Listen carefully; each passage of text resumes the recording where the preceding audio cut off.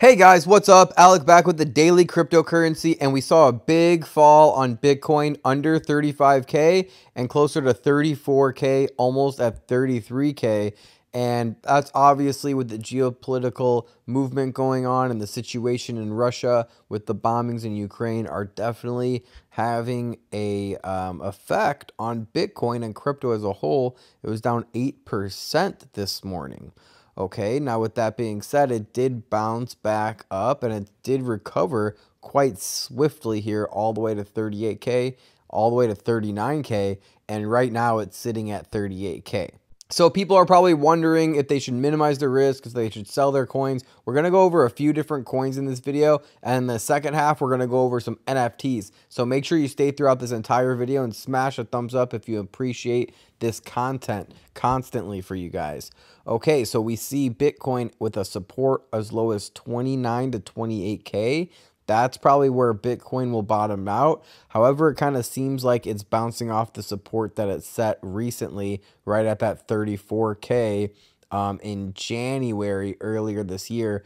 It was bouncing around 36K, 35K and even 34k for a little bit. A lot of people are even talking about a reversal coming for um, Ethereum. So there is a flag pattern, right? So there there's a lot of talk about Ethereum going to like 5K or even higher out from here. It's keeping its head above water right now. We really don't want to see it go back to like 1900 or below $2,000 per coin. Right now, Ethereum is holding on pretty good. It was down to $2,300 earlier this morning. It's already back up to 26 um, 100 and it was at 3200 earlier this month as well. So this article goes on to say that we really don't want Ethereum dipping below $2100 because that could lead to um, a half a trillion dollars in liquidation. The price of Bitcoin and most other cryptocurrencies plunged by nearly 10%, some altcoins even down like 20%. Because cryptos can suffer volatile price swings, the Maker protocol requires that all debt positions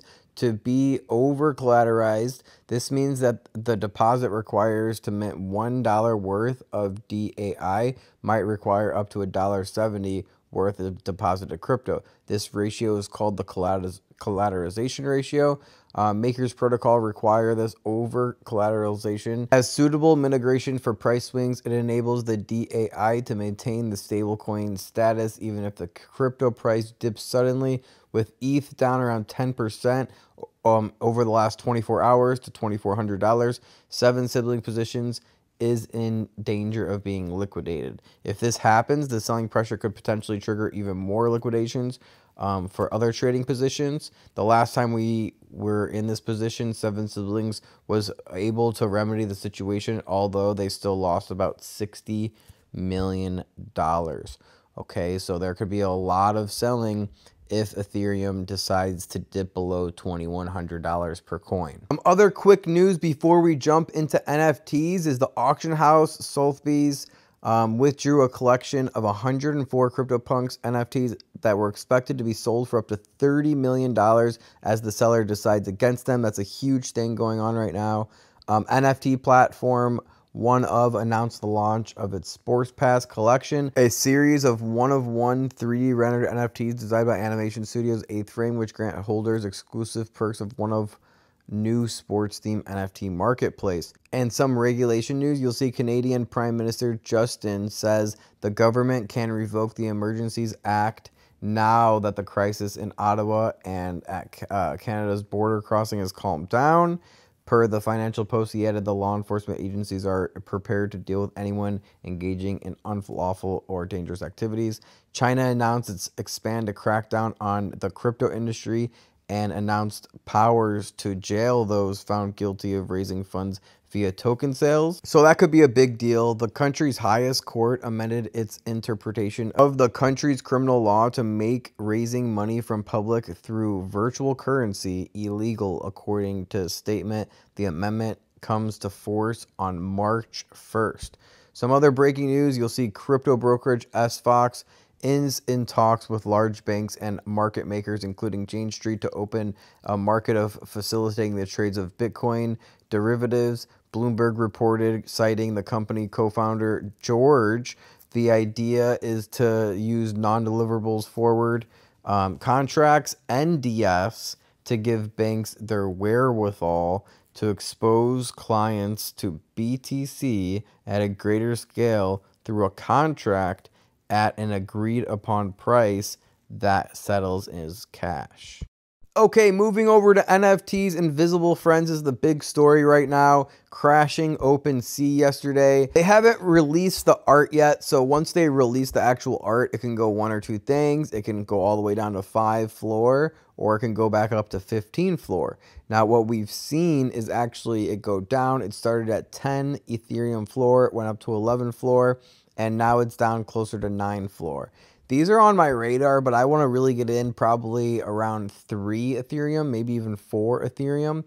And that would be a lot of money for a lot of people. You'd probably have to sell a lot of your cryptos and other NFTs to buy an invisible friend, which is always a risky thing instead of diversifying. However, I think this can be a prominent NFT in the space for years to come. I think invisible friends can do it right and turn into a blue chip stock if they continue on the path they're going down. However, anything can happen in the NFT space and of course, there's always a chance that Invisible Friends just won't make it in the long term. Let's talk about Tubby Cats because they're only a 0.5 floor right now with a volume of 12K. And that 12Ks basically came in just a few days. This one obviously can go either way. You know, it can go down to 0.3 floor, which I think is a little bit more unlikely for, but it could also go to like 1.5 to 3 floor if the hype continues. Remember, there's 20,000 items, so you have to take that in consideration when you're looking at the floor price. Also see headlines on Tubby Cats right now. Someone paid 500K in Ethereum to mint 900 Tubby Cats. So if you ever see projects just jump out of nowhere, there's always some risks of some sketchy situations going on. You know, somebody on their team could just be buying all these to kind of inflate the price, inflate the volume, and show that there's demand for this project. However, if you go into activity, you can actually track where the addresses are coming from and how often the sales are ha happening. Just by the frequency of the sales, probably is no foul play going on. But if I have a 0.5 Ethereum budget, I would probably look at something like crypto, let's see, Crypto Bats by Ozzy Osbourne fell to, I saw it at 0.35 yesterday. All right, and I actually personally scooped one up myself. They're already bouncing back to 0.4. There's going to be more utility behind these ones, um, and they're also going to be mixed with like Bored Ape, so you can actually um, bite your Bored Ape and give the properties of your Bored Ape and kind of mix them together. Now this one kind of looks pretty good with the green jewel, jewel, uh, the orange body, tiger stripes on the back, bunny ears, rainbow sunglasses. That might be a good pickup. This one with the brain out might be a good pickup. I think that these ones can definitely come back and I set my price target to sell right at 0.95 Ethereum on CryptoBats. I'm even considering um, picking up another CryptoBat if they fall back to like 0.5, uh, 0.35 or under 0.3 floor. That'll be more tempting for me.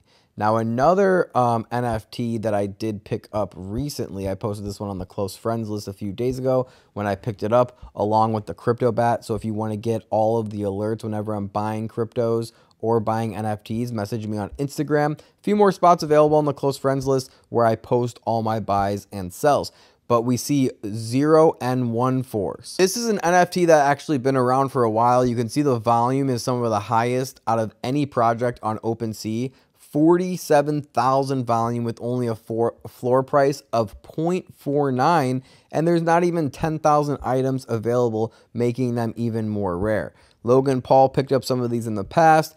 Um, obviously it didn't go the way that people wanted it. You know, it was in January, it was like 2.5 and then it just kind of died out from there. But you can see they've kind of had consistent volume all along. They also have some anime art, which is popular in the space right now. So I ended up picking up one of these. I think there is some rare ones out right now. These these ones are on rarity.tools, so if you want to look for a rare one on there. And remember, of course, this is not financial advice. Anything, anything can happen to these NFTs. You know, they can go to zero. Even OpenSea, there's no guarantee that OpenSea will even make it. There's always risks of attacks to OpenSea, people getting hacked all the time. So just be very careful out there and only spend money that you're willing to lose. Don't be spending money on NFTs that you're going to need next week, next month, or even the next three to six months. This should be all disposable money, and you should set yourself a budget so that way you're not going overboard on NFT investing. It's extremely easy to get overboard, to go overboard on NFT investing, and sometimes that takes away from crypto investing. So you don't want to take away from your crypto investing. You want to only use disposable income and you want to get involved with great projects. Uh, this is one that you want to probably do a little bit more research on. Do some research on the team. Also, check out their roadmap, their Discord, and their Twitter. Obviously, this has been a very sought after NFT, one of the most volume, highest market caps NFTs of all times. Here's their Twitter, by the way, with 88,000 followers. You can actually see Gary Vaynerchuk and a bunch of other people follow this project as well. And it looks like people are still engaging with every single post that's posted, and people are still excited with what's going on um, with the future of this project. And the last one that we'll talk about is Hashmasks. Remember, the items are a little bit higher on this one. The volume is extremely high, very sought after NFT.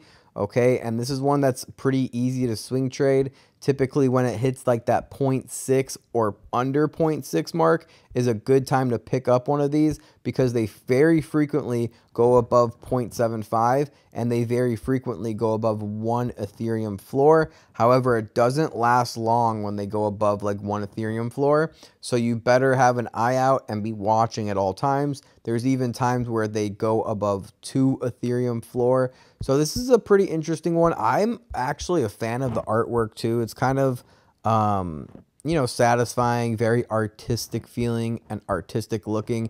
And if I remember, because this is an older project that's been around for a while as well, but if I remember, the, uh, this is an actual artist that does these ones too. So it's instead of like a profile picture, this one's more revolved around the art. So this is the last one I'll leave you guys with. Do your own research on it. Check out the artist, see the team behind it, see if there's any utility behind it before you go and purchase any of these NFTs make your own decisions, do your own research, check out the utility, check out the team, check out the Discord, the community, and everything else. And I hope you guys appreciate these videos. If you do, just to prove it to me, just smash the thumbs up button. I'll keep making these videos for you guys as long as you keep liking these videos and commenting below. The more engagement you guys post, the more videos I'm going to be posting. Remember, I'm also running the daily stock market. So uh, if you're not getting a video on the daily cryptocurrency channel, there's a good chance that you're going to be getting a video on the daily stock market and vice versa. I try to at least do five to seven videos every single week for you guys between the two channels.